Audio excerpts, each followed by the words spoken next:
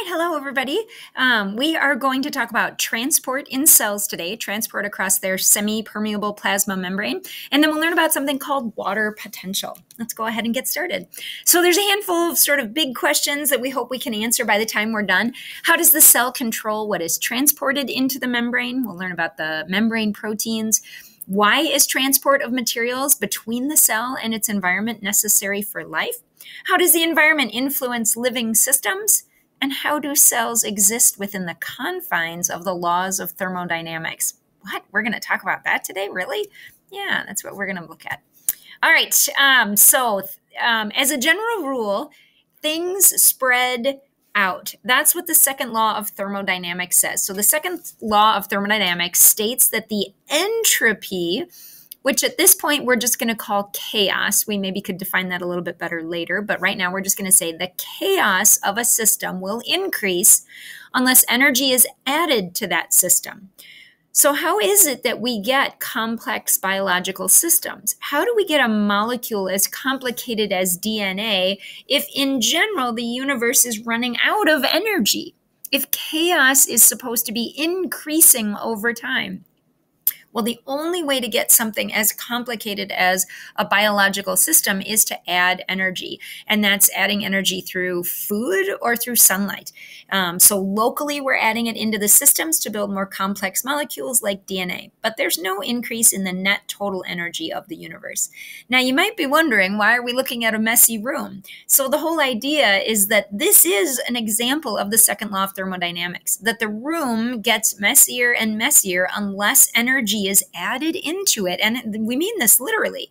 You have to take, you have to use energy to put things away. You have to use energy to fold clothes. You have to use energy to make beds. And so the room is going to become more and more and more chaotic unless energy is used to um, keep it nice and neat. so that'll tie in in just a minute.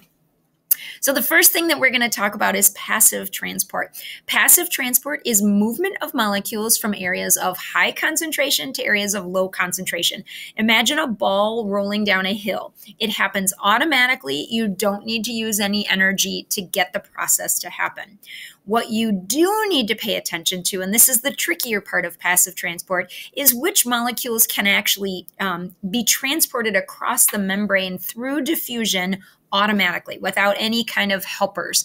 Um, so it says in the first diagram, small, non polar, like write that down. Small nonpolar molecules are passing between the phospholipids. Look at the diagram. Notice we're going from left to right. We're going from an area of high concentration to an area of low concentration. What are small nonpolar molecules that might be transferring across the membrane like that? Oxygen and carbon dioxide are good examples. Oxygen needs to come into cells, carbon dioxide needs to be um, released out of cells as a waste product.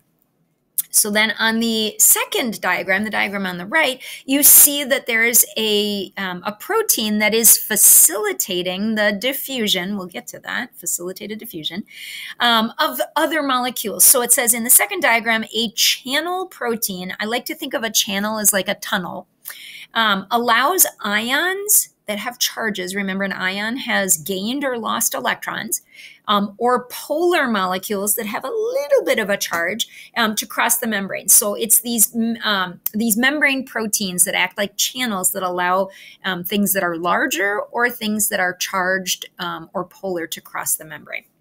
All right, so let's talk a little bit about diffusion. Diffusion is the passive transport of molecules across a semi-permeable membrane. So take a look at the diagram here. We've got water on the left, we've got water on the right, and we've got a semi-permeable membrane in the middle. Um, there are sugar molecules shown in green, and the sugar molecules are too large to pass across the membrane. So if you take a look at the water on the left, there's less sugar, so that means there's more water. If we were to make an example, maybe on the left side it's 10% sugar and 90% water.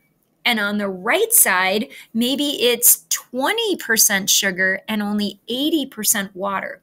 Water is going to travel from an area of high concentration to an area of low concentration. That's called osmosis, always moving from high to low. And it says, notice that the sugar molecules in the diagram are too large to pass through. So it's water that's moving. And now for the big reveal, I'm going to move my picture and look what happens um, afterwards. Water moves from the left to the, or from, yeah, from left to right. And we actually see an increase in the amount of water that's on the um, right side of the U-tube. Crazy a U-tube.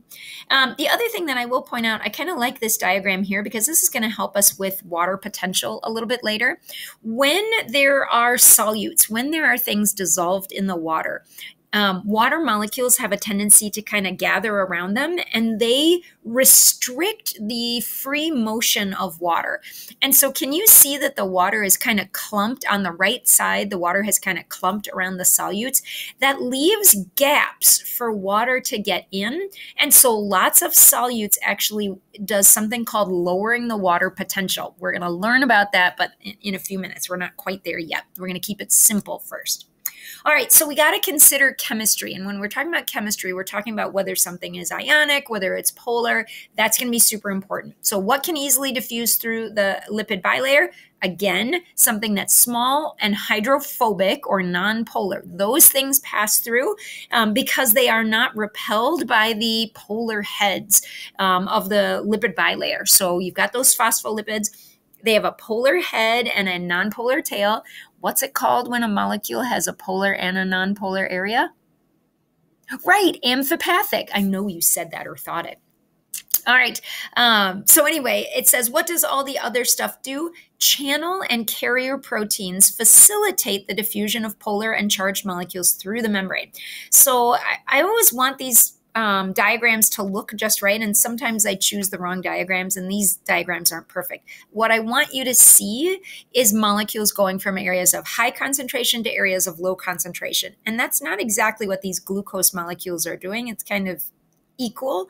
Um, but notice that with the carrier protein, the shape is changing. So as the molecule touches it, it causes a conformational, is the word, conformational change. It goes from this shape to this shape, and it releases the glucose molecule on the other side. That's called a carrier protein. No ATP is necessary. Um, it is the presence of the um, molecule, glucose in this example, that changes the shape. That is what causes the conformational change. Um, in the far right um, protein that we're looking at, that's a channel protein and it's basically open and it allows certain um, ions or polar molecules to pass through. Okay, so I've mentioned these words before. Facilitated means helped. Anytime you're facilitating something, you're helping out. So facilitated diffusion is just helping diffusion to occur. Um, it's diffusion, so no ATP is required, and we're moving again from areas of high concentration to areas of low concentration. So facilitated diffusion is another way of saying that diffusion is happening, but it's happening through a membrane protein. So channel proteins are just tunnels, carrier proteins carry the ion or molecule across the membrane by changing shape. All right, and then the last thing to mention water, super important, is small. We said small nonpolar things can go between the lipid bilayer. Well, water is small and polar. So, does that mean water can or cannot cross the lipid bilayer?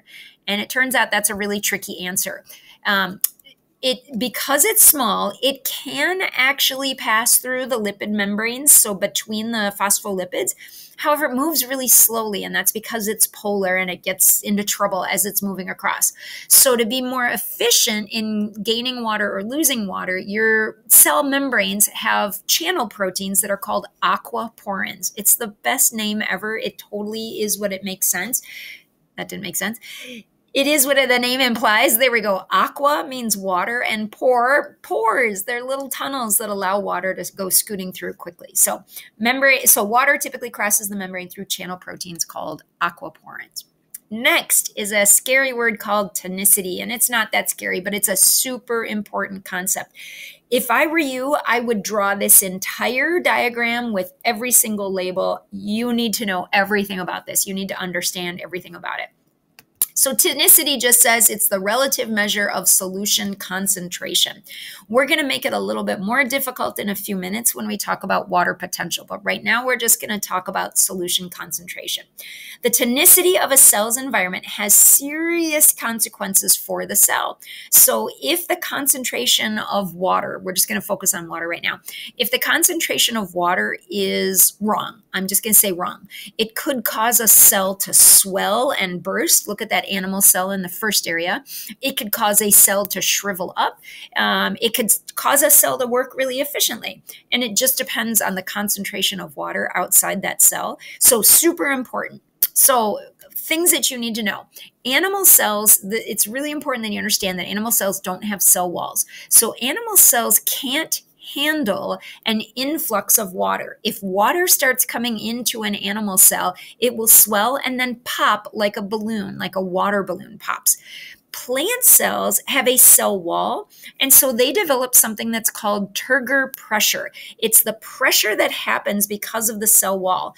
High turgor pressure is good for a plant because plants don't, especially green plants, woody plants have sort of a skeleton, like a simulated skeleton, but green plants don't have any kind of a skeleton. The only way that green plants can stand upright is if there's water pressure inside of them and it allows them to stand like this. So we want to put a lot of water, especially in that central vacuole, and it pushes against the cell membrane, and this cell membrane pushes against the cell wall, and you've got this water pressure, and it allows the plant to stand upright.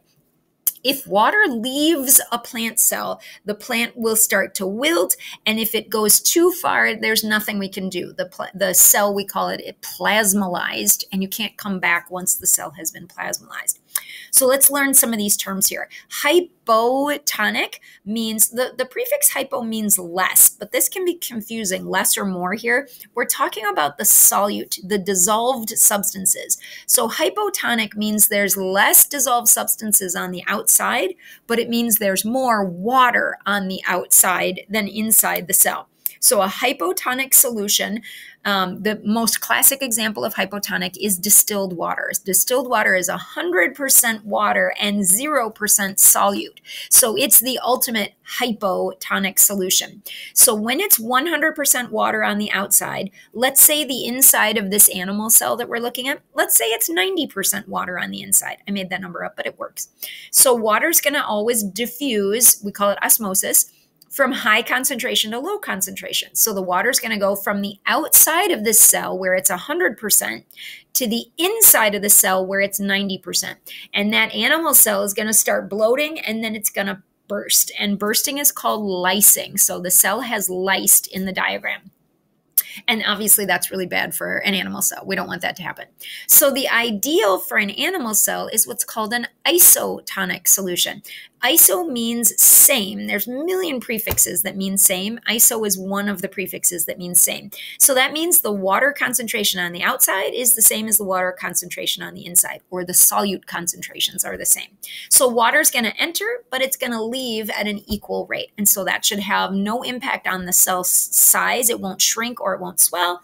Good for an animal cell. Um, and I can't remember if I wrote that down. Okay, so then hypertonic solution. The word hyper means um, increased or higher than. So that means that there are more solutes on the outside of the cell, so more dissolved substances. And that means that then there's less water on the outside than what's on the inside. So let's go with 90% again. Let's say the cell is a 90% water solution 10% solutes, 90% water. And then on the outside, let's just say it's ocean water. And let's say, I'm making up numbers, let's say it's 15% salt and 85% water. So now if you look at that cell, 90% on the inside, the water is going to go from high concentration to low. 90 is the higher number, 85 is the lower number, out, which is outside. So water is going to leave the cell and that animal cell is going to shrink. It can't function correctly and that is certain death for it. This is why we don't drink ocean water when we're stranded in the ocean. If you have like if you're swimming in the ocean and you swallow some water, doesn't matter at all because you can always rehydrate with another glass of water, fresh water, or you know, go have a pop or whatever, and you're going to rehydrate. It's not a problem. The issue is when it's the only water that your body can drink. The actual content of the ocean water is less than the content of the water in your cells. And so it actually dehydrates you more than if you had never had anything to drink in the first place, no ocean water to drink in the first place. So stay away from ocean water. Um, okay, so take a look at the plant cell now. The plant cell loves a hypotonic solution like distilled water. Water rushes in. We've got high turgor pressure. We say that it is turgid. Look at the words. Make sure you feel comfortable with that. Um, in an isotonic solution, even though it's great for us, that's not necessarily the best for green plants. They get a little wobbly when they're in isotonic solutions. So when the, the pressure is starting to decrease a little bit. But what's terrible for plants is a hypertonic solution. In that case, the water is leaving the cell, the, the central vacuole is shrinking, it's no longer putting pressure. And it's like imagine if your skeleton collapsed. That's what's happening to the plant. Its skeleton, its water pressure is collapsing, and so the plant wilts. Um, and that's called plasmolyzing. Now, here's a bit that I just want to make sure you're all solid on that. Um, we can use concentrated salt water as an example again. That is an impending problem in Minnesota. Um, because of winter in Minnesota, we add salt to our roads to try to melt the ice. And we'll learn about why that helps melt ice in chemistry, um, term four. So anyway, it helps to melt ice, but ice never, I'm sorry, salt never, ever, ever goes away. It stays in the environment. And so as we're adding more and more and more salt, we're increasing the salinity not only of our soil, but some of that washes into our rivers and our lakes. And so we're increasing the salinity of our lakes. Well, what does that do to all life that's used to living in freshwater? So any plants that are in the lakes, it is plasmolyzing them. Any um, fish that are living in the lakes, it's pulling the water out of them. Um, so Minnesota has to figure out how to um, step away from salt. We've got to start um, figuring out ways to not use salt on our roads. Okay, um, I guess we'll go with that. Um, next, I just want to see want you to see a couple quick examples of how animals um, use how they have adaptations to handle different salt concentrations. So the paramecium, this little cute guy on the left um, has this beautiful contractile vacuole. It looks like a little flower and it squeezes and it shoots water out. So if the paramecium is in a hypotonic solution where water is rushing in, I forgot to remind you, um, students taught me this long time ago and I've used it ever since to remember what happens in a hypotonic solution, they said, KJ, we think of hypo hippo. Well, what does a hippopotamus look like? If you were going to describe what a hippo looks like, right? It's big, bloated, gigantic, or, or, enormous animal. Okay, so water, you can imagine water rushing into this little critter here and it getting all big and bloated like a hippo. So hypo hippo. So if paramecium is in a hypotonic solution, water is going to rush in, but it has an adaptation called a contractile vacuole to push water out. It is active transport. So that means that it's using ATP. So it can't do it forever. It's going to, you know, it's like us running forever. It's pumping and pumping and pumping. It needs to be in an isotonic solution so that it's not wasting energy. Now, here's the sad part if you throw this paramecium into the ocean, its contractile vacuole only pumps water out. Well, if it's in a hypertonic solution, water is going to be leaving it already. Even if it stops um, contracting its contractile vacuole, it's still going to shrivel up, and that is certain death for the paramecium. All right, and then we've got marine fish and freshwater fish, and just a couple things to be aware. So, the word osmoregulation refers to the regulation of water and how um, marine organisms deal with it versus freshwater.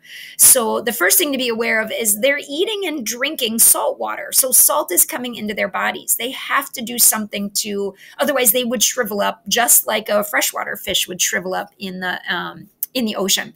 So they have two adaptations. The first adaptation is to remove the salt from their bodies and they remove the salt through their gills. So they have that special adaptation. They also release less water in their urine so that they are holding on to their water more. And so that helps them be able to handle the salt water Vice versa, um, freshwater fish have a lot more water in their pee, um, and so they're excreting that water out because water has a tendency to build up instead of leave their bodies. Okay, next. Um, one more thing. This is the same diagram we just saw. So this is really what I've been talking about with you is really simplistic math, where I talked about like if it's distilled water is 100% water and then inside is 90%.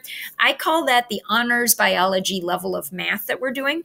But we're going to step it up into the AP biology and we're going to talk about water potential. The difference really has to do with the plant cells. I just want you to imagine this for a second. So take a look at the plant cell that is turgid, the one that's in a hypotonic solution. So imagine it's in distilled water.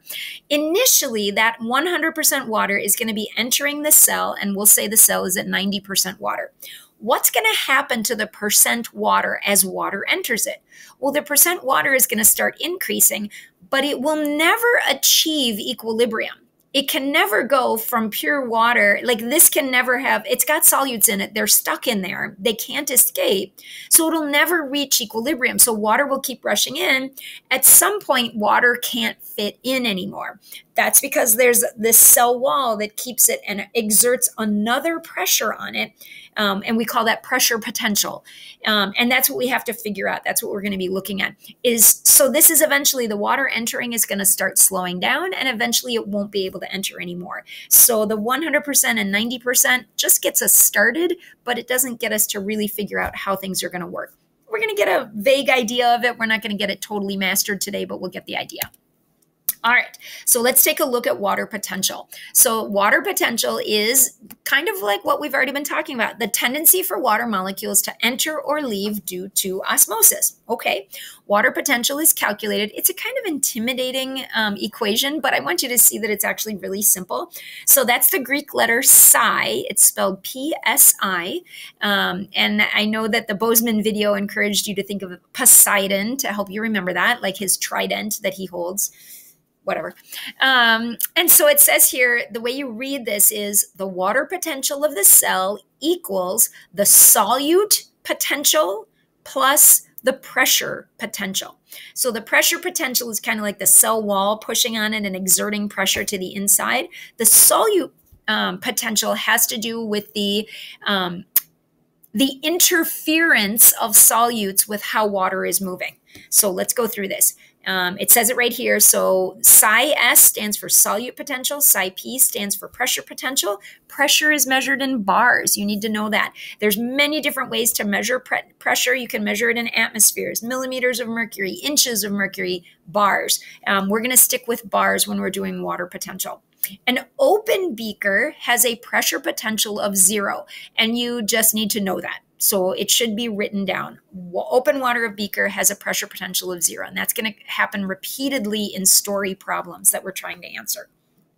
All right, the next three things are quotes from our Biozone ebook. Um, I'm going to suggest that you write down just the first one, but not the second two bullet points. So it says the presence of solutes, like sucrose, for example, lowers water potential because the solutes restrict the movement of water molecules. Do you remember we saw a diagram a little bit earlier? It's in the Bozeman video too, where there was a solute and then the water molecules were gathered all around and there was some space that lowers the solute or that lowers the um, the solute potential um, because more water can move in then can move into those spaces pure water has the highest this is kind of weird so just let it sink in pure water which is distilled water has the highest water potential possible zero everything else is negative it's always going to be in a negative unless it's distilled water so it says dissolving any solute in water lowers the water potential, makes it more negative. So write one of those things down and you're good to go. Okay, I'm moving on. So continuing, oh, and I should have said this really quickly. Even though this is really an intimidating equation, it's as easy as 5 equals 3 plus 2. You just add them up. You, there's two numbers and you add them. Big deal. It's not hard to do.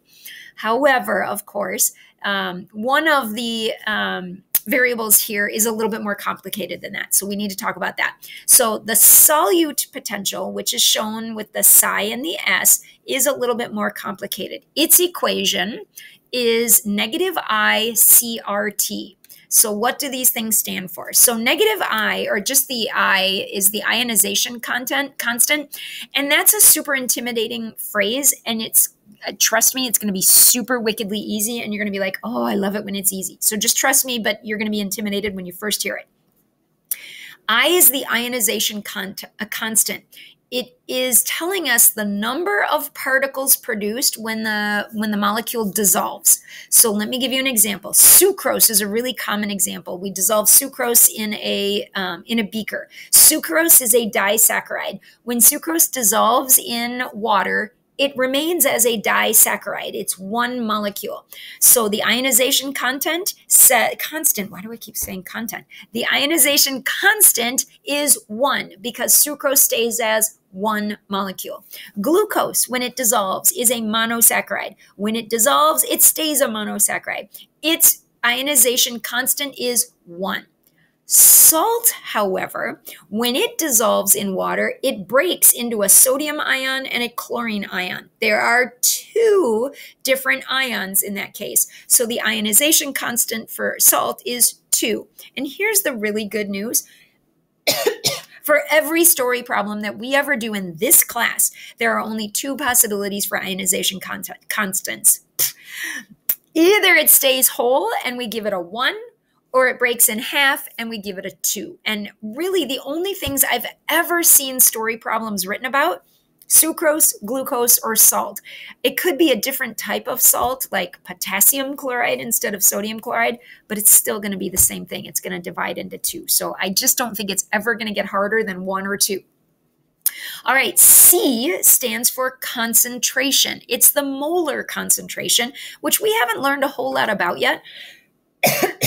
we learned um, in honors chemistry term one what a mole was. So, molar concentration is usually abbreviated with a capital M, that's molarity, and that's the number of moles in one liter. So, just you're going to have that in a in a story problem it'll say like the mol- molarity is 1.0 or the molarity is 3.5 um, and so that's the molar concentration R is a number that's going to be the same the whole time. Well, and I should have mentioned this. All of this stuff is on your formula sheet that or equation sheet that um, AP gives you. So I will give you these formulas um, on our test, and the AP exam will have them on there, so you can look up everything. You don't have to memorize negative I CRT. You don't have to memorize this pressure constant that you're looking at right now. Um, it's on that equation sheet. So the pressure constant is always 0.0831. Get a load of that um, label. Liters bars per mole Kelvin. So why is it that way? It'll make sense a little bit later, but just trust me that that's what the constant is. You are always going to use that same number. The last letter stands for temperature, um, and it would be lovely if it was just in Celsius, but it is not. Um, you may or may not have heard of Kelvin. Kelvin is another, just like Celsius and Fahrenheit, it's another temperature scale. It is equivalent to Celsius. However, instead of starting um, at at ice melting, which that's where the Celsius scale starts. It starts at zero, which is ice melting. Um, instead, zero on the Kelvin scale is absolute zero, which is uh, for Celsius, it would be negative 273.15 degrees Celsius, I believe. Um, so, anyway, so to, to convert between Celsius and Kelvin is actually super easy. It's just 273 plus whatever the degrees Celsius are. And guess what? Even that's on your equation sheet.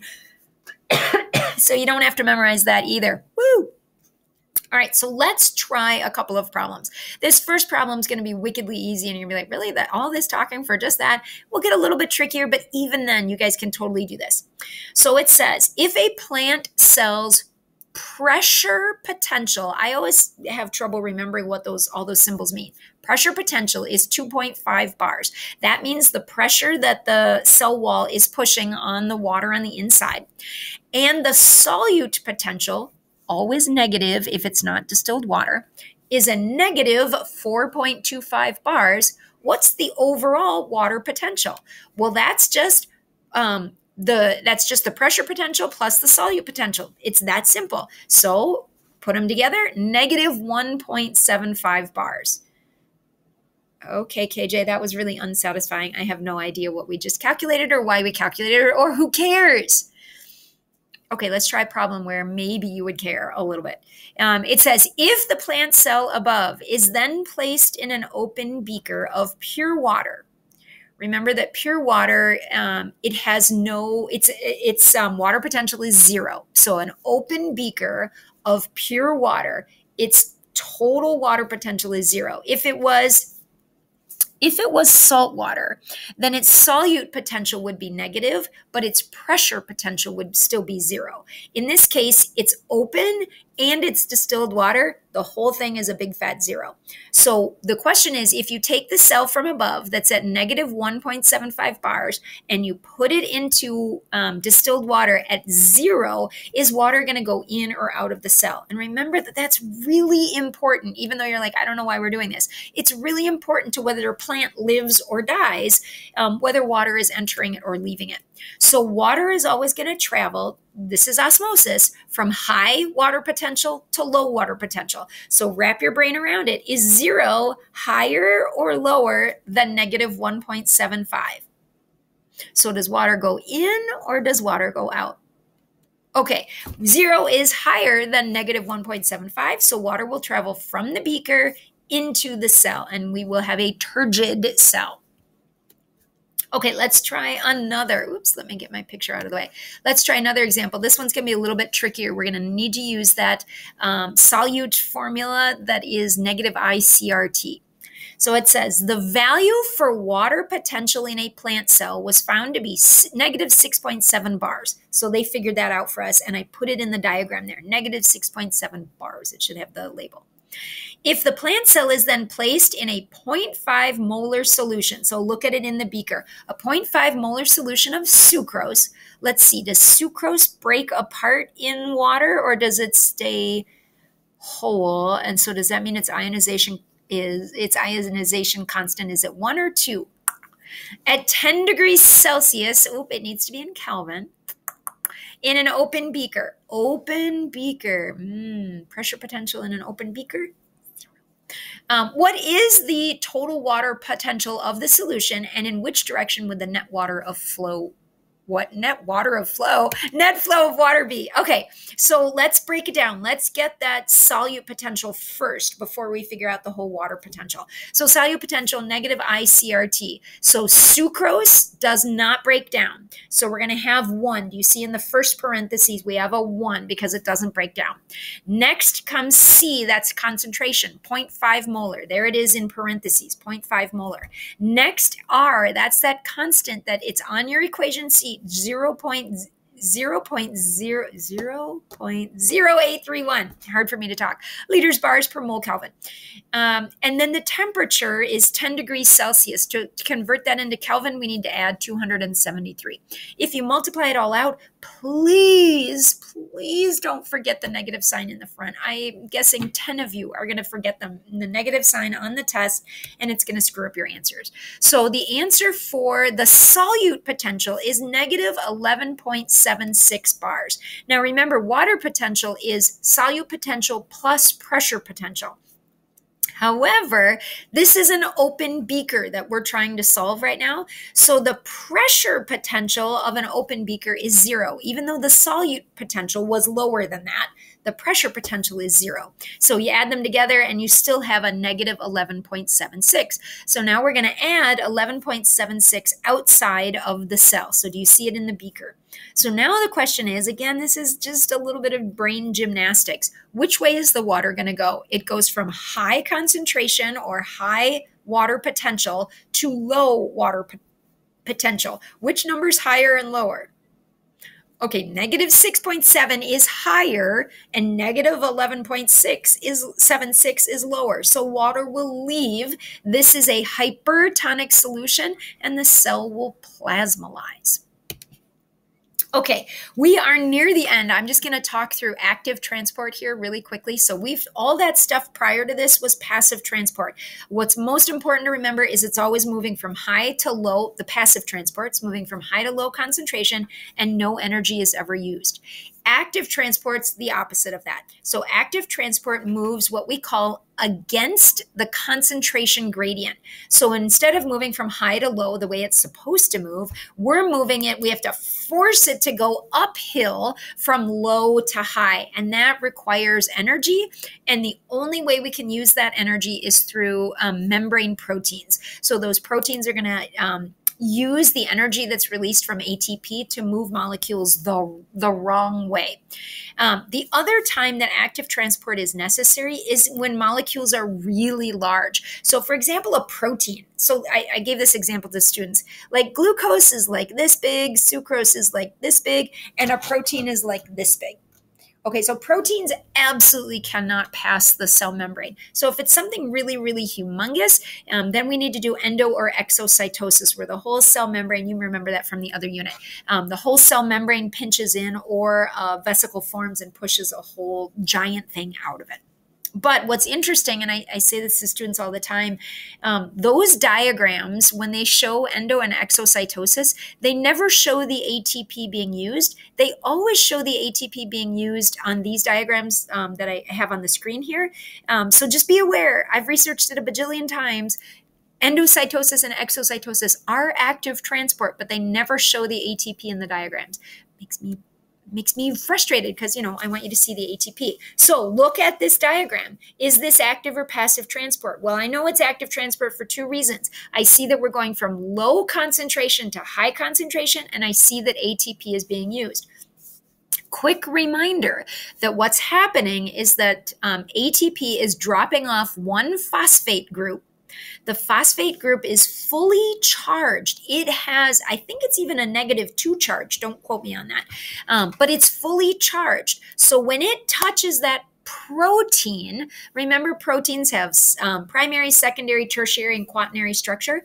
The tertiary, and technically the quaternary, maybe even the secondary structure, I had to think about that one a little bit, would be impacted by the presence of that phosphate group.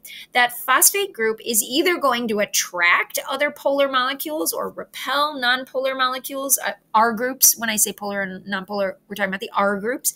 And that's going to cause the protein to shift in shape. And that's what allows the molecules to be shuttled across, to be moved across to the other side. So in this case, we're increasing the hydrogen ion concentration. And the question is, who cares? Why are we doing that? What would it matter? Well, the whole idea, look at the first one again, that's that proton pump. We're pumping these hydrogen ions across so that they can help bring sucrose into the cell.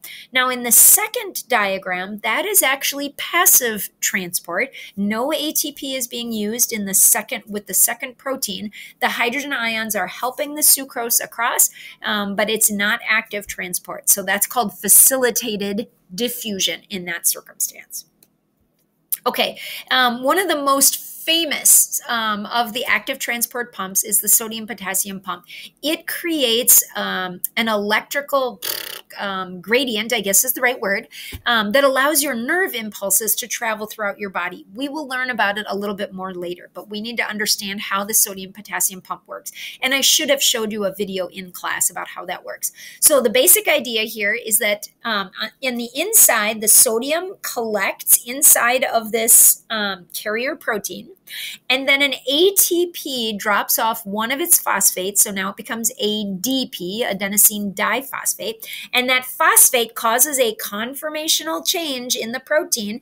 And so now the protein is facing this way, and those um, sodium ions are released to the extracellular side of the, uh, of the membrane. Then, um, because it's open, now two potassium molecules can move in and they cause a conformational change, and the phosphate falls off to be recycled back into ATP. It's brilliant recycling.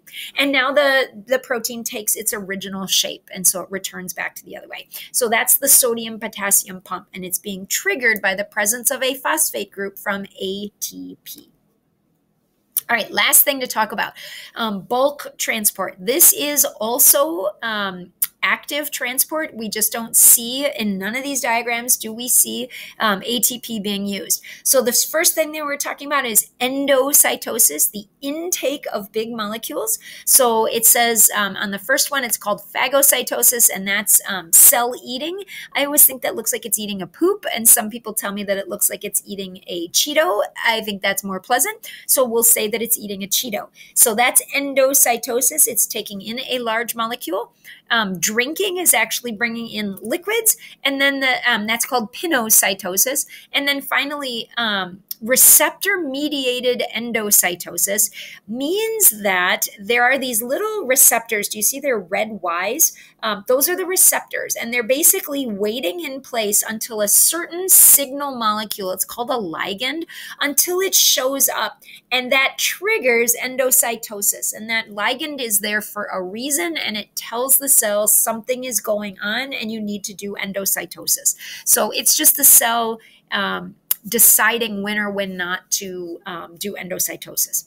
And then lastly, exocytosis is exactly the same process, but in reverse. Um, we're taking vesicles and we're merging them with the outside of the cell membrane. So that vesicle has a phospholipid bilayer and it has proteins embedded in it. And as it melds with the cell membrane, then those proteins get added to the cell membrane and those phospholipids get added to the cell membrane. So the cell membrane is constantly changing. It can be increasing in size um, as exocytosis happens, and it will decrease in size as endocytosis happens. Okay, everybody, that is it. I'm just going to really quickly, you could shut me off right now. I'm just going to go over the what do you gotta know? What are the things that are most important? Okay, first of all, second law of thermodynamics says chaos increases unless energy is added. Living things add energy via food, sunlight, or sunlight to maintain organization. Passive transport. No ATP needed. Molecules are moving from high to low concentration across a semi permeable membrane. That means that small things can pass through. That's what semi permeable means. If it's water that's moving across, we call it osmosis.